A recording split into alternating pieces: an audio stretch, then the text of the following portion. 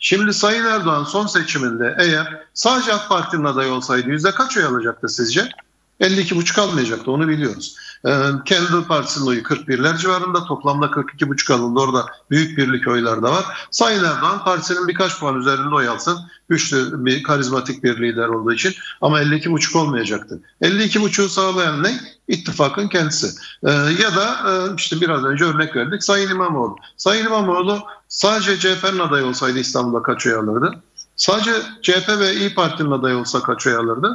E, muhalefetin ortak aday olduğunda kaç oy aldı? Şimdi burada e, sinerjiyi yaratan, oy oranını belirleyen ve seçmen davranışlarını da belirleyen şey artık ittifakla davranılıp davranılmadığı, ittifakın yapısı, ittifakın e, şey e, toplam gücü. E, o yüzden e, adaylar elbette ki önemli. Adayların e, gücünü e, şey gözden uzak tutmuyorum elbette ki. Ama seçmen davranışlarını belirleyen ve seçim sonuçlarını belirleyen birinci faktör artık adaylar değil, sadece bir parti değil, e, ittifakın kendisi olmuştur. Yeni aktör ittifaktır. Seçmen davranış üzerindeki en etkili faktör artık ittifaklardır. Dolayısıyla burada ittifakların gücü kadar e, seçmen şeyler partiler oy alacak. Bunu aslında daha önce de biz test ettik. Mesela e, işte bu e, Sayın Ekmelettin İhsanoğlu ile ilgili hani çok konuşulan bir şeydir. O dönemde destekleyen iki partinin toplam oy oranı %38'di ve Sayın İhsanoğlu %38 oy aldı. Yani hiç kimsenin tanımadığı bir e, şeydi, insandı. Bir siyasetçi değildi zaten. Bir akademisyen ve e, şey uluslararası kuruluşta görev yapmış e, bir diplomattı. Ee, ve 138 oy aldı. Çünkü o destekleyen partilerin oyu o kadardı zaten.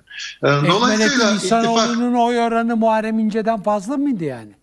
Tabii tabii 38'di. Daha, aynen öyle. 38. %38 oy aldı. Ee, %51,5 Sayın Erdoğan aldı. %10 küsur civarında da e, Selahattin Demirtaş oy almıştı. Toplamda zaten e, 100 yapıyor Yalnız orada ortak gibi. aday vardı. Burada Meral Hanım e, da çıktı partisi adına. E, Ekmelettin İhsan e, oğlu ortak adaydı ve e, 14 parti desteklemişti. Diğerlerinin çok oyu o kadar yoktu. O zaman Büyük Birlik Partisi de Ekmelettin İhsanoğlu'nu desteklemişti. E, Milliyetçi Hareket Partisi de desteklemişti. E, burada bakıldığı zaman sadece Cumhuriyet Halk Partisi'nin adayı olarak Muharrem İnce'nin oyu e, o düzlemde değerlendirilecek bir oy değil. Ee, Size tekrar geleceğim İbrahim Var mı ek, eklemek istedikleriniz ama tekrar geleceğim zaten biraz sonra. Tabii tabii yani söyleyeyim tek cümle. Dolayısıyla artık bundan sonra e, adayları değil bence ittifaklar, ittifakların bir arada davranabilme yeteneği, ittifakların ne ölçüde e, bir dayanışma ve e, eşgüdüm içerisinde oldu. Yani kerhen mi destekliyor yoksa gönüllü mü destekliyor falan bunlar da benim gördüğüm seçim sonuçları üzerinde etkili olacak. O yüzden adaylar üzerinden analiz yaparsak yanıltıcı olur. Bence e, şey e, ittifakların toplam gücü yaratacağı sinerji üzerinden değerlendirmek seçim sonuçlarını çok daha doğru bir yaklaşım olacaktır. Peki teşekkür ederim. Ne dersiniz Hilmi Bey? Çünkü e, e, anladığım kadarıyla İbrahim Bey'in bu yaklaşımıyla altılı masada bir aday e, paniği en azından yok. Çünkü İbrahim Bey formülü şöyle söylüyor. Sirli formül ittifakın varlığı ve dayanışması diyor. Öyle Kesin bir, olarak da ben Kemal Bey gibi anladım. Me Meral Hanım'ın e, çıkışları neden? Çünkü Meral Hanım... Ben katı, yorumlayarak sordum tabii ha, bunu. Katıldığı programlarda da ki parti üyeleri de defaatle buna benzer açıklamalar yaptılar.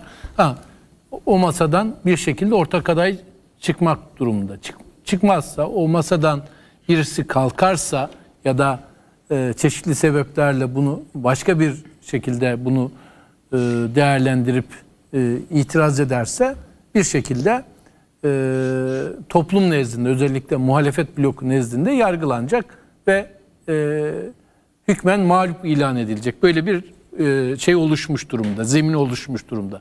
Muhalefet tarafında e, ve masa tarafında. Böyle bir gerçeklik var. Bunu bir kenara e, koyalım. Ben e, Kemal Bey'in adaylığı noktasında değerlendirme yaparken hep şunu söyledim hatırlarsınız. Kemal Bey dedim Cumhuriyet Halk Partisi'nin oylarının tamamını alabilir. Diğer taraftan HDP oylarını da alabilir ki bu önemli. Her aday HDP'nin oylarını alabilme e, potansiyeline sahip değil. Nitekim bazı e, HDP'li yöneticiler de bazı isimler üzerinden e, itirazlarını dile getirdiler.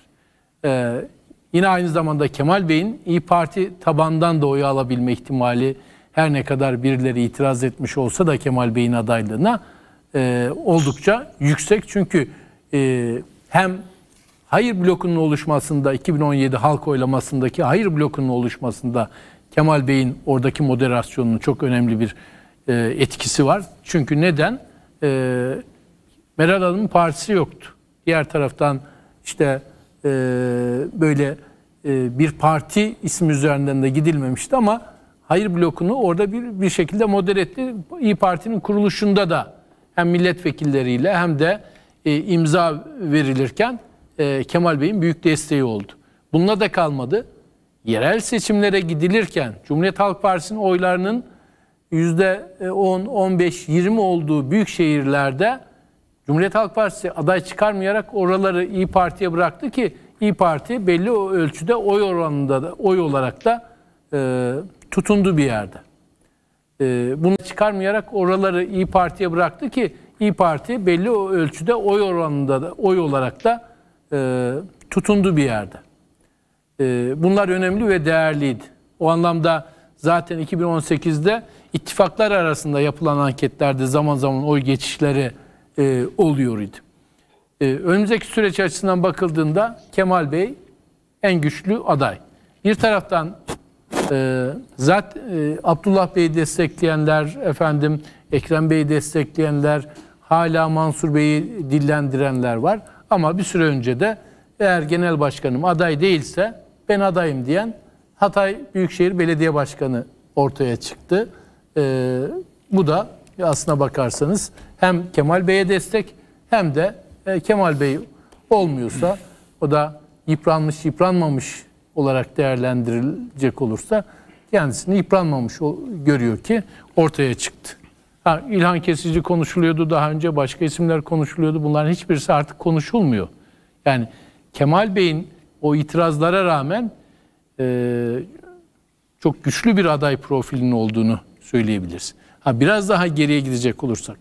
Kemal Bey çok iyi, iyi bir oyun kurucu olduğunu kabul etmek gerekir. Neden?